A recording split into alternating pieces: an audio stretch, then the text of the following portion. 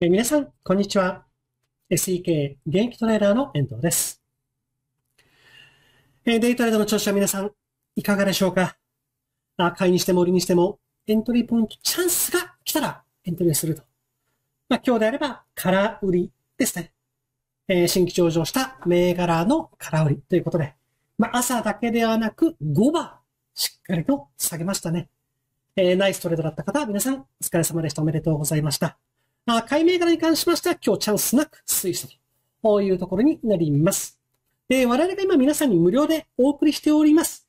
デイトレード専用注目銘柄受け取っていますでしょうか？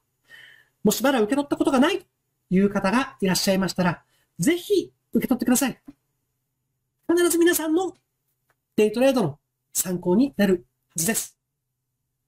え受け取ってないという方、下に概要欄がありますのでね、えこちらリンク先をクリックしていただいて、メールアドレスご登録して受け取ってください。えー、だいたい18時前後に皆さんのもとにメールにてお送りさせていただきます。翌営業日用のデイトレ、銘柄ということになります。楽しみにしていてください。えさて、今日の内容は、その翌営業日用のデイトレード、専用注目銘柄。今日でしたら明日用として5銘柄ありますので、一つ一つチャート解説をしていきます。最後まで見逃さず、しっかりとお聞きください。えーでは見ていきましょう。まず、一つ目。3841G だと。飽きない伴ってきましたね。まあ、連日ストップ高。今日で4営業日連続ストップ高と。ただし、今日は場中ということです。えー特外、まあ、ストップ高ですね。会期入るのは2801円で9時17分にストップ高。その後失速。なんと10時半には2091円まで落下しました。まあ、その後、また買いも、再び買い戻されて2576円で着地と。下に髭の長い陰線で着地しております。商いは101万5300株。まあ、これまで20万、30万株というところがありましたが、今日商い伴いながらの一段高というところになります。そして下髭というところですね。まあ、陰線だったというのがありますけれども、明日用としては見ていきましょう。回戦略ベースで見ていきます。G ダット。今日つけたストップ高2801円のところをさらに上に突破していけるかどうかに注目をして見ていきます。え、二つ目。7751キャノンです。えーキャノンは本日用としてあげました。今日は開けた窓の埋める空売り用として出しましたけれども、売りに押されることなく上げてきましたね。まあ、寄った後、わずかに売られましたけれども、おー我々の見ている開けた窓、窓埋めにはならないという状態で一段高。あ今日は4778円。高値引けで終えております。まあ、それでも3.37%ということで、日中ボラとしては大きくはありません。しかしながら、4000円台の1円刻み、5桁入ってますよね。ところどころ。3桁、4桁、5桁あります。まあ、資金によるくらいの方は1万株とかですね、入ることも可能となります。まあ、1000株から、まあ、5000株ぐらいが妥当ではないでしょうか。え今日は597万6900株、高値引けということになりますので、昨日の、まあ、つまり、先週金曜日の上髭ですね。上髭商用線を突破していきましたね。ですので、明日用としては今度回戦略で切り替えてみていきましょう。4778円のところをさらに上にブレイクしていけるかどうかに注目をして見ていきます。まあ、こちらは決算内容非常に良かったということですね。えー16年ぶりの高値更新、今期順利予想情報修正ということで先週金曜日出ておりましたけれども、それを上にブレイクしていったということで、回戦略で見ていきます。えー、3つ目、6702富士通日経平均採用銘柄となります。まあ、こちらも同様ですね。7月25日の決算内容。まあ、情報修正というところではあります。下髭陽線ですね。下髭陽線、ギャップアップ。まあその前が一気に売りに押されましたよね。開けた窓を窓で埋め尽くすと。さらに今日は一段高というところです。しかしながら、こちらも日中ボラとしては小さいです。終値ベースで見ると1.66%のプラス。商いは金曜日ほどではありませんが入っております。829万4500株。通常の商いよりもやや多い状態となっております。今日付けた高値のほか、2769円12、10時20分ですね。前場、今日高値。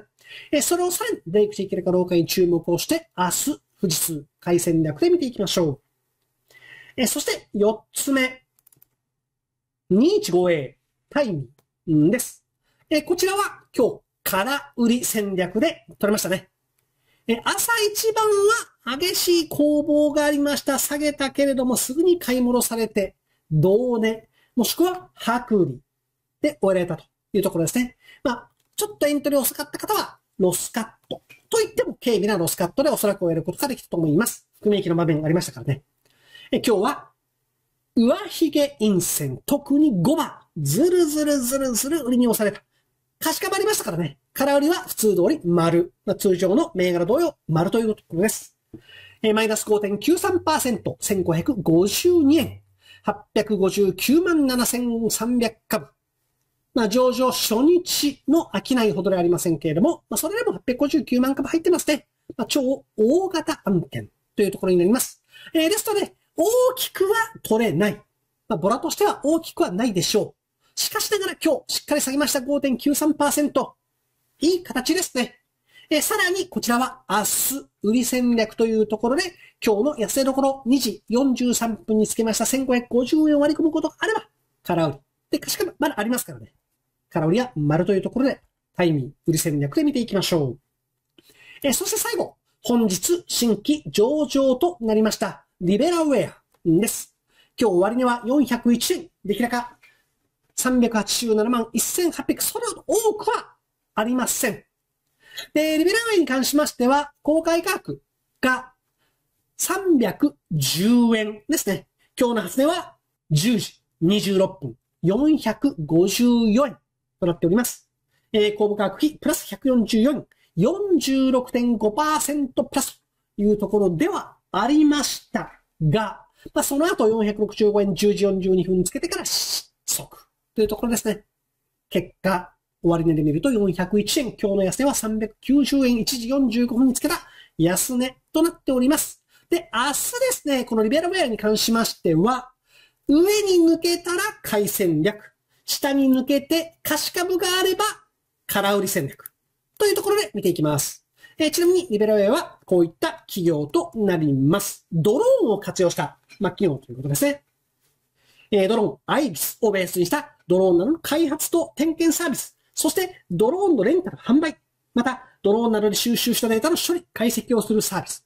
これを提供している企業となります。人が行ける場所へ、人の安全の未来へというところで、まさに、ま、新しい企業というところになります。まだ、あの、会社設立してからもですね、それほど経っておりません。えー今年で8年目でしょうかね、2018年、16年起業しておりますのでね、明日、どう動くかですね、上に上げるか下に下げるかと。いうところで、まあ、売り買い両方の戦略で、こちら見ていきたいと思います。今日の高値どころ465円ブレイクするか、または390円を、まあ、今日のタイミングのようにですね、さらに割り込んでいくかどうかということで見ていきたいと思います。以上、5銘柄となります。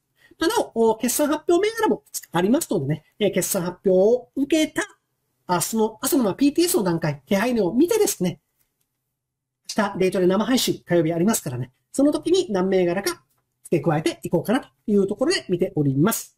いかがでしたでしょうか？皆さんのデートリードのぜひ参考にしてください。えーこの内容がためになったと思った方は、いいねボタン一度押してください。えーそして、チャンネル登録まだ行っていないという方は、チャンネル登録もぜひ行ってください。日経についてですとか、日経の今後について、そして、各セクター、まあ、業種ですね、商社についてですとか、半導体関連について、AI 関連について、まあ、銀行系についてですとか、いろんな、まあ、船株も含めてですね、解説をしていきますので、えー一度チャンネル登録していただきますと、上位の方に、皆さんが YouTube 開いたときに、上位の方に、我々の方がチャンネルが出てきますので、えーぜひこちらも参考にしていただければと思います。で、また、最初にお伝えしました、翌日用のデイトレ、注目銘柄まだ受け取ってないという方がもしいらっしゃいましたら、ぜひ受け取ってください。受け取り方は簡単です。下に概要欄ありますので、こちらリンク先をクリックしていただいて、メールアドレス、ご登録して受け取ってください。必ず皆さんのプラスになる。そう確信しております。え今日はここまでといたします。え最後までご視聴いただきましてありがとうございました。明日火曜日8時45分から10時半までデイトレ生配信があります。塾生の皆さんはしっかりと利益を確保していきましょう。では、失礼いたします。